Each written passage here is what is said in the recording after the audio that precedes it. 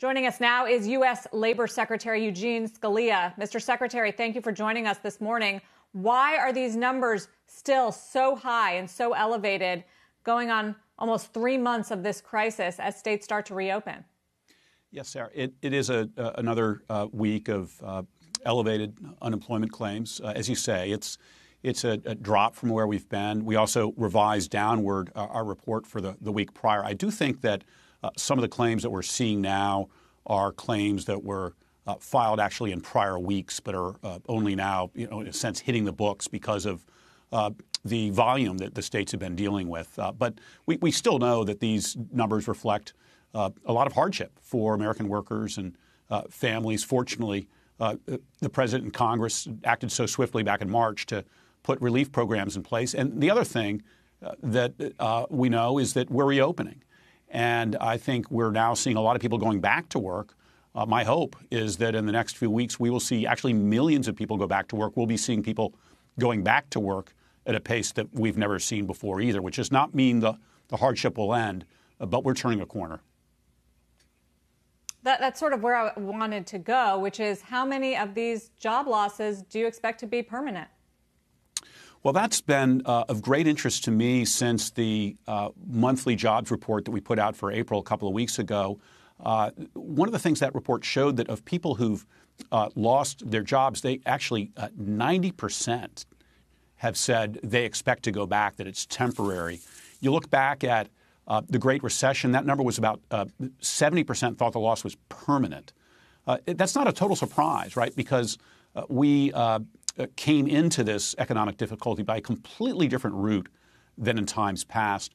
But it's really important now that we reopen promptly and safely. Uh, and I think that gives us a good chance of getting a lot of those jobs back. So many of those jobs actually are there. Uh, they're just waiting for the, the, the, workers to come back and come back safely. We know we'll lose some, but I think many, many, many are still there. I mean, how, how do you think about that at a time where we still don't have a vaccine and we still don't have a game changing treatment? And so, for those industries that rely on close contact and face to face and it's hard to social distance, what's going to happen to those jobs? Well, by the way, I was down in Florida yesterday with the vice president. Uh, that's a state uh, under the governor there that I think has done a very good job uh, managing this virus and and is uh, getting along well with its reopening. It was uh, terrific to see that, although uh, they're facing challenges we know in their in their uh, tr- uh, tourism industry, which will be one of the harder ones to bring back. But uh, we've been very focused, among other things, the Labor Department on providing uh, guidance on safe workplaces through uh, OSHA. OSHA has been providing guidance since late January, early February on how to keep people safe in the workplace. Uh, uh, so that workers, employers know uh, the right things to do. And I, and I do think it's going to be manageable, uh, distancing in the workplace where that's not possible. People will use masks, other protective gear. Uh, but I think businesses across the country are finding ways to get it safely done, and we'll uh, continue to work with them on that, and, and we'll also continue to protect the workers and make sure things are being done properly.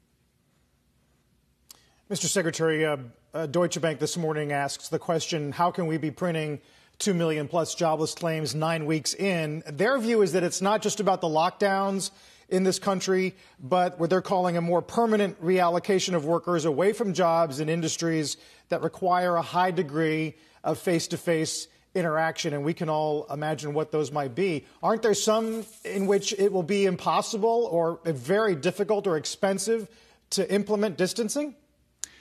Uh, these, these are important questions. I think that the uh, majority of the job losses uh, we're seeing, I think probably the great majority, are a result uh, of the lockdown. But we know there are other things going on. There are supply chain disruptions, and there are going to be knock-on effects on our economy, and our, our economy will change. So it's, it is a dynamic period. We're, at the same time, we're seeing job creation.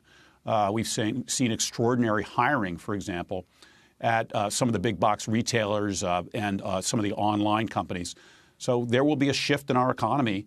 Uh, I think we'll see people going back to many, many of these jobs. But, but yes, there, there will be there will be some long-term changes as well, and some of those will be very good for uh, American jobs, American workers. I think we will see a re-strengthening of U.S. manufacturing, bringing our supply chain back home or back to friendlier territory than China. And, and I think some of those changes will actually be very good for U.S. job creation.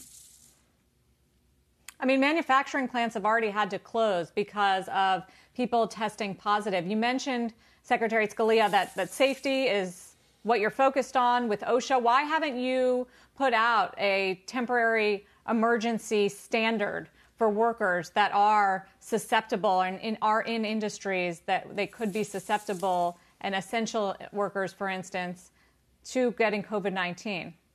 Well, again, from very early on, OSHA's been working uh, closely with uh, the CDC and, in some cases, other agencies to uh, identify for companies, for workers, the kinds of things that they need to be doing uh, to keep workers safe. And it's also uh, been responding to uh, employee complaints, including employee complaints that they've raised safety, raised safety, concerns and perhaps been retaliated, which is a, a serious matter. We do not believe at this time that a, a mandatory regulation uh, advances uh, safety in the workplace beyond what we can achieve through the uh, tools that we're using.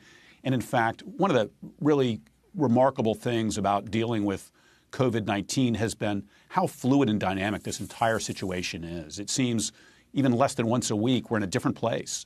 The guidance that we're using gives us more flexibility uh, than a mandatory standard would do.